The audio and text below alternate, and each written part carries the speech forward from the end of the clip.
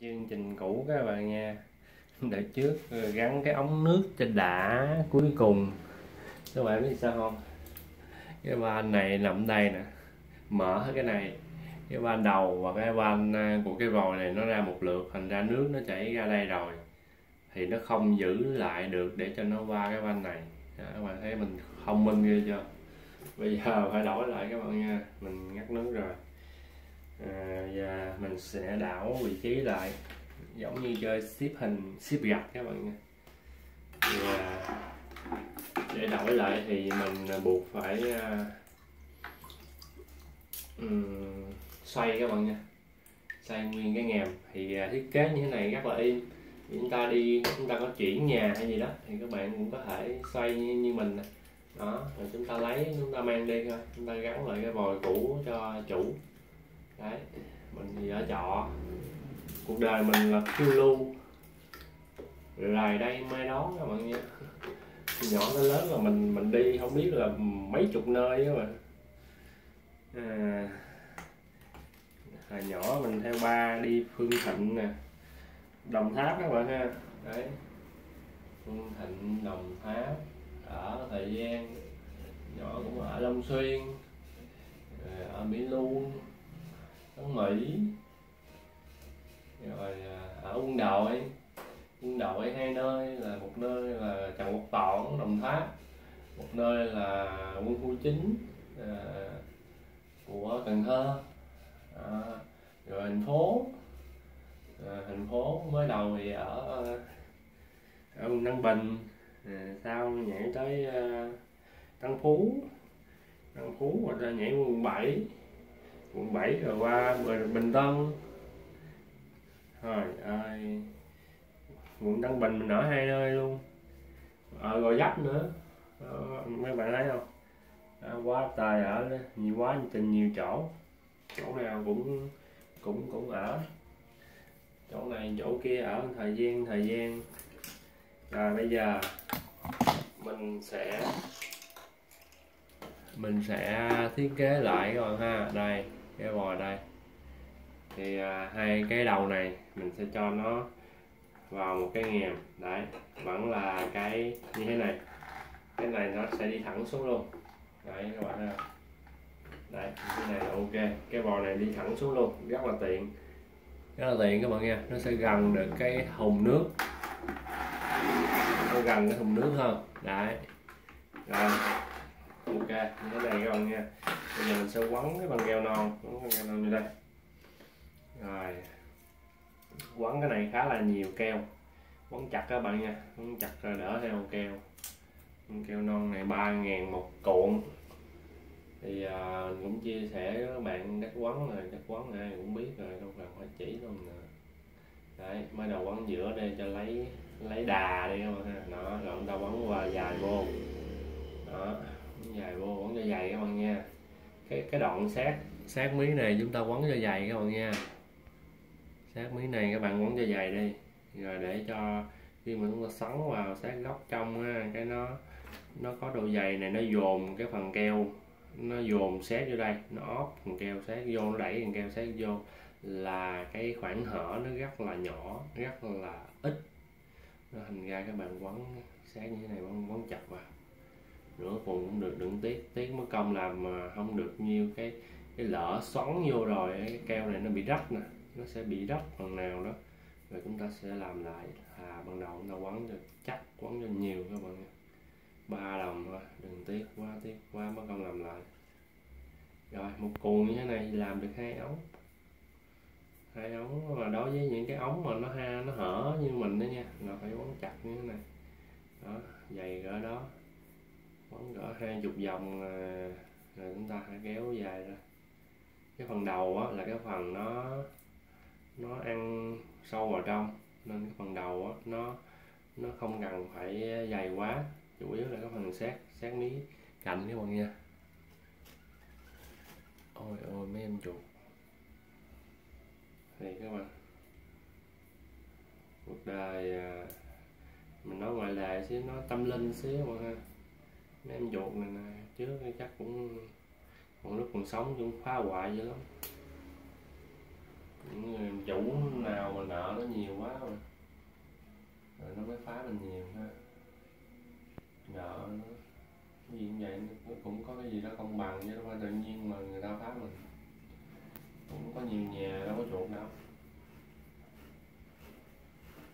Rồi hãy rất là chặt các bạn nha rất là ok nha đấy mấy bạn dùng cái lòng tay nè đấy lấy cái tay này nè chặn lại bóp đè dịch đấy. Rồi chặt lại luôn. Ồ, ok cứng nhắc luôn rồi bây giờ mình sẽ lấy một cái khúc. Các bạn canh khoảng một tấc hay lóng hay lóng rưỡi tay tùy hay ngón tay các bạn ha. Rồi bây giờ mình sẽ tra keo vào. Cha keo trước xài vẫn còn các bạn nha. Keo này xài khá là yên mà hàng người ta thiết kế hay ha, làm sao mà mũ mà nó dính được hay ha. Đấy. Một lát mình sẽ cho bạn xem một kỹ thuật chế kỹ thuật chế thôi nha. Mình sẽ chế một cái ống chế một cái ống cho nó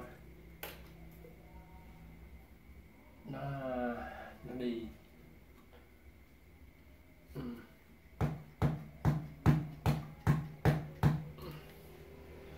thôi cái còn lại là cái bò này mình sẽ chế ở đây luôn đây.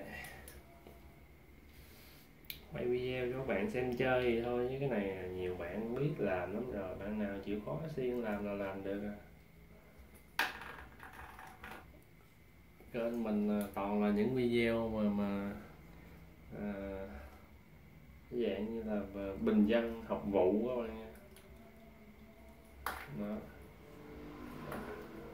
biết tới đâu làm tới đó chứ không có bài bản gì hết những bài bản này đầu tư nhiều lắm các bạn ơi. Bài bản giống như những cái à, cái video mà họ họ đọc như là là MC ha các bạn ha. MC những chương trình này kia, họ chuẩn bị nhiều lắm các bạn nha. Còn đa phần những video mình nói toàn là mình nhớ và những cái kinh nghiệm thực tế mà mình đã trải qua, mình nói trực tiếp chứ mình không có có soạn bài dở gì hết các bạn nha. Đấy, thành ra thì à, nó cũng sẽ có cái khuyết điểm như vậy mà. Khuyết quyển này có những cái mình bí á. Mình bí.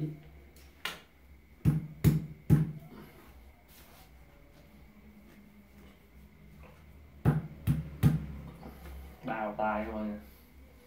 rồi, các bạn nhìn cái chiều thẳng đứng là ok chứ nếu ok được thì thôi ha rồi, ok, vậy là xong các bạn nha. Thành quả thành quả thành quả xong. Bây giờ cho các bạn xem thành quả coi nè thành quả nè. Đấy. Đây, thành quả đó các bạn nha. Ok, cái này là thẳng đứng xuống. Nó qua qua bên đây. Nước dồn ở ngoài ở ngoài ống chính đi vô đây, xuống tới đây là nó sẽ ngưng nó ngưng ở đây thì nó sẽ ra ở đây được. Chúng ta bóp cái vòi ở đây thì thì nó sẽ xịt nước ra mà nó không chảy xuống dưới này. Ban đầu mình làm ngược lại nên nó chảy ra ngoài luôn. Đó. Bạn thấy mình thông minh không? Bây giờ mình chế cái đường mới các bạn nha. Một cái van ống mới các bạn ra. Ra phía à, trước xem mình làm ha. Cái phần ống này á, các bạn ha. Cái phần ống này thì nó nó có cái co này, nó nó nghiêng xéo qua thì nước nó xịt vô người các bạn ha mình sẽ chế, mình cưa một cái khúc. Đây. Mình cho nó gặp lại như thế này. Mình cho nó hướng hướng sâu xuống xíu. Đây. Cho nó hướng đứng xuống các bạn ha. Đây, mình cưa như thế này. Cưa lõm qua như thế này. Cho cái này nó nó nghiêng. Cái độ này nước nó sẽ ra đây nhiều hơn. Và nó hạn chế ra một đường thẳng. Đó, mình cho nó ra một đường xéo. Và khi mình mình nãy mình cắt xéo xéo trên này nè mình sẽ óp ngược lên. Mình đẩy ngàm giống như ngàm gì nè các bạn nha. Đấy mình cho nó nước nó quay xuống các bạn ha. Nước nó chuyển hướng xuống xíu. Đấy thành ra là mình sẽ chét chét keo. Đấy, mình sẽ chét keo trên à, cái vùng này cái vùng à, miệng trên đây. Và mình sẽ chét keo trên cái keo lồng trong của cái cái miệng à, ống này thì à, do có cái van này chặn lại nên cái van này mình để lâu lâu xíu các bạn nha. Tại vì cái phần này chúng ta làm nó nó cần cái độ bám độ bám và cái thời gian. Nó nó cho nó chắc hơn các bạn ha. Đấy. Còn à, cái van trong mình mới làm là cái đó mình xài xài liền cũng được. À.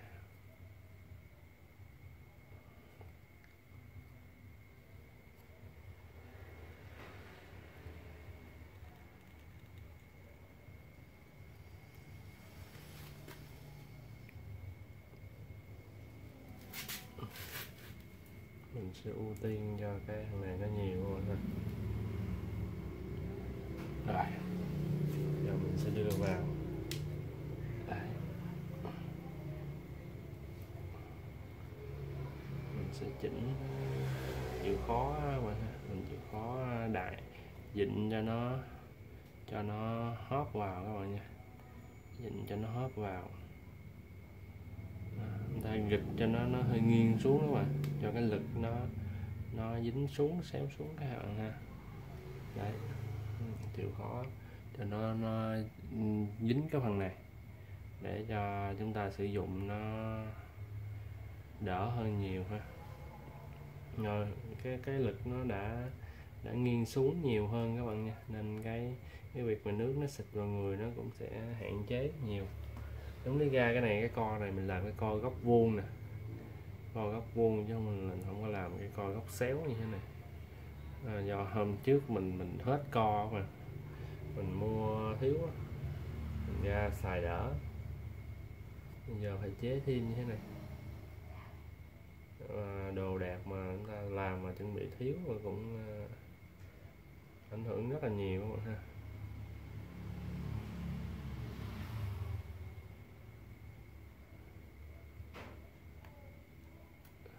Quạt quạt nó có gió cho nó nó hao khô các bạn như thế này mình nghĩ rất được rồi ha nó dịnh ờ, khoảng chừng một hai phút vậy là được rồi.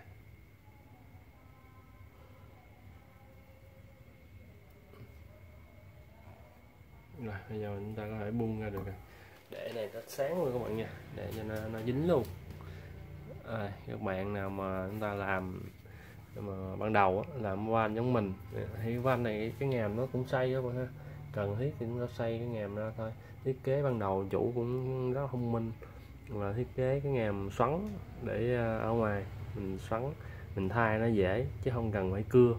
Nếu mà chúng ta làm cái cái à, cái van góc ở trong mà chúng ta làm cái van thường bình thường nói á, thì chúng ta khi mà hư á, chúng ta phải cưa.